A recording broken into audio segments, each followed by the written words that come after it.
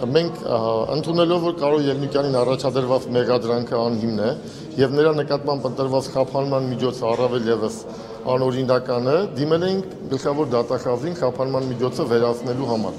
որովհետև երբ եթե դատարանն է որոշում կայացնում կալանքը խափանման միջոց ընտրելու, կալանքը կարող է վերացնել միայն դատախազը։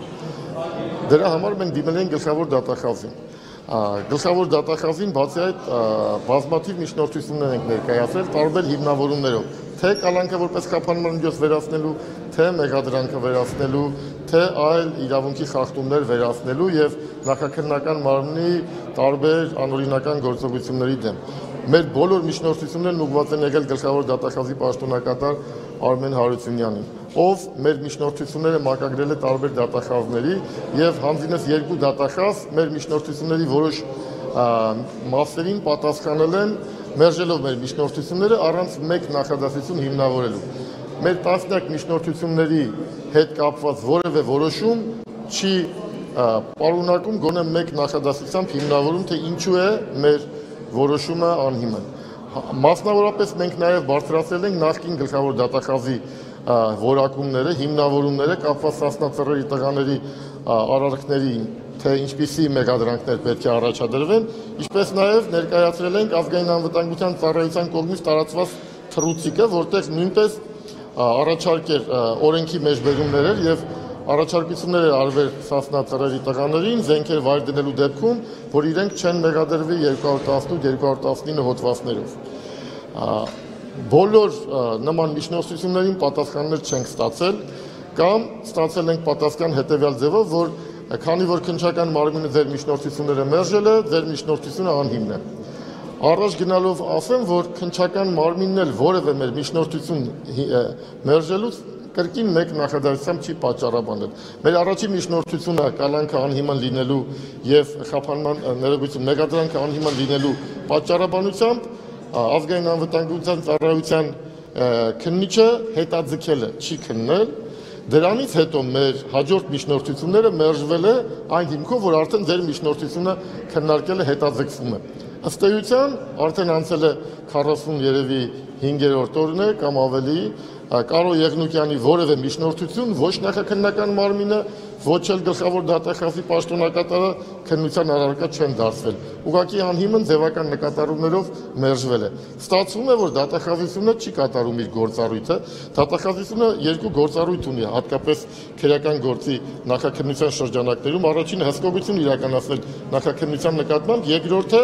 այն լիազորությունները, որը բացառապես իրեն են տրամադրված կոնկրետ խափանման միջոցը վերացնելու հարցը, որպեսզի քննի միջնորդությունները եւ որոշում կայացնի կալանքը հիմնավոր է թե ոչ։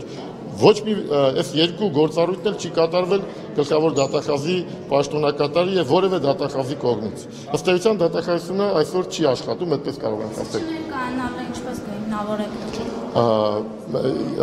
Իսկ թվում է բացի ներկայանալուց մյուս դատական նիստին եթե պատշաճ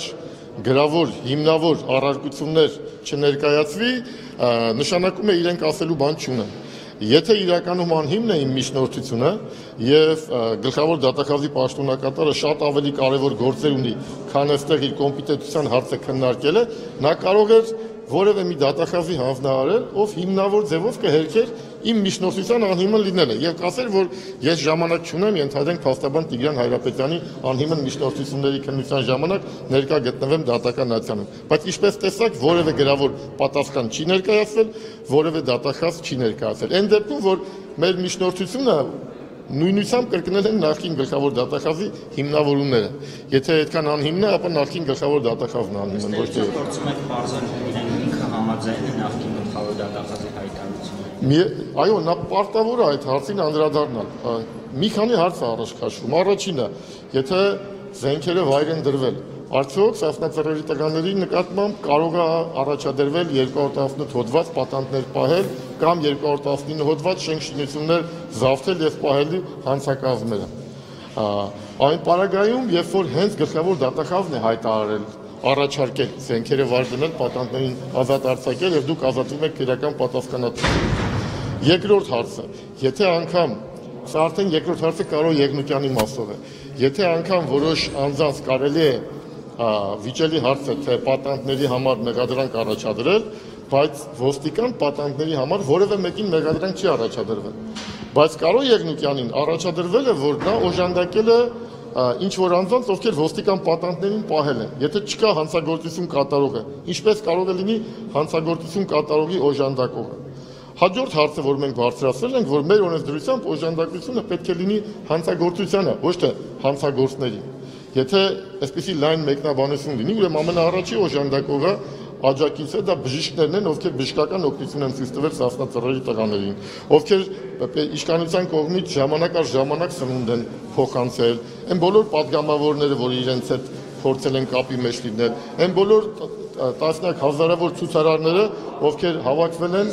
եւ իրենց աջակցությունն են հայտնել սասնածռերի տղաներին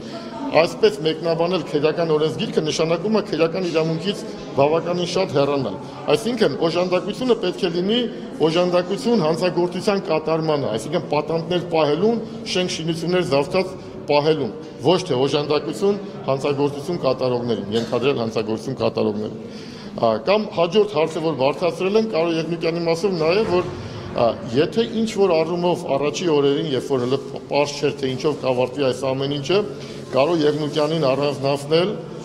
ինչ որ առումով թեկուս ոչ հիմնավոր կարելի էր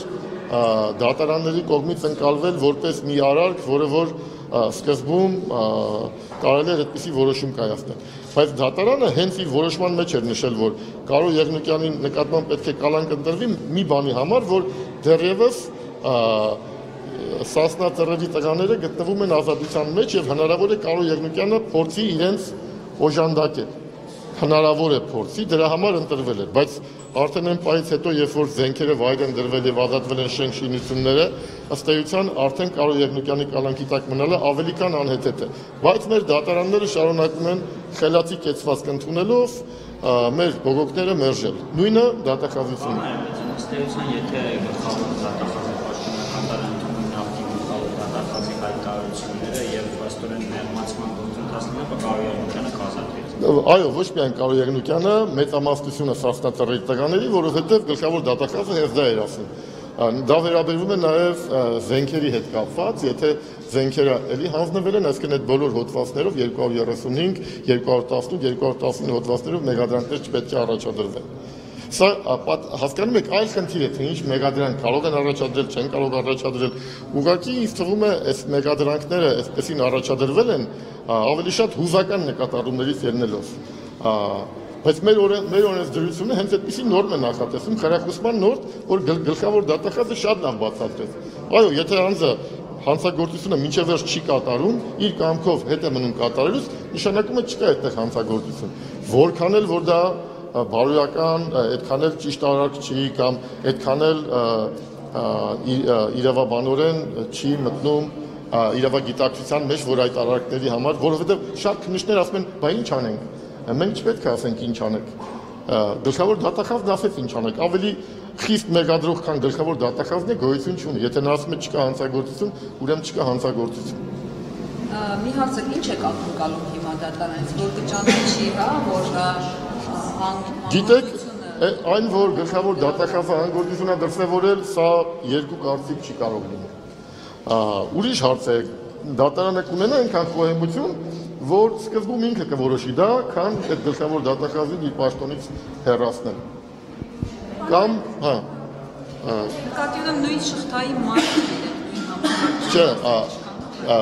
ամեն դեպքում ըստ օրենսդրության դատարանները անկախ են ու չնայած այսօր մի քիչ տարօրինակ էր որ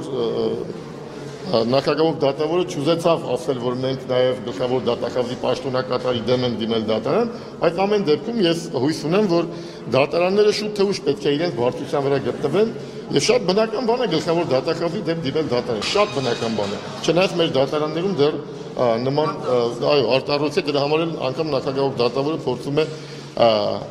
չկրկնել, չշեշտադրել, ասել, որ գլխավոր դատախազի պաշտոնակատարի դեմ չի կրվում։ Պարոն Հայրապետյան, այդ նույն դրույթը, որ եթե զենքերը վայր են դնում, ազատվում են քրեական պատասխանատվությունից, չի ներառում նաև կետ, որ եթե չկա այլ հանցակազմ։ Կարծեմ քրեական Այո, այո, այո, եթե չկա այլ հանցակազմ, այսինքն եթե անձին չեն ծեծել պատանդ բռնելուց, եթե նրա նկատմամբ այլ բռնի գործողություններ չի եղել, եթե եղել է, ապա այս հանցակազմը դուրս է գալի, այն հանցակազմներն է մնում։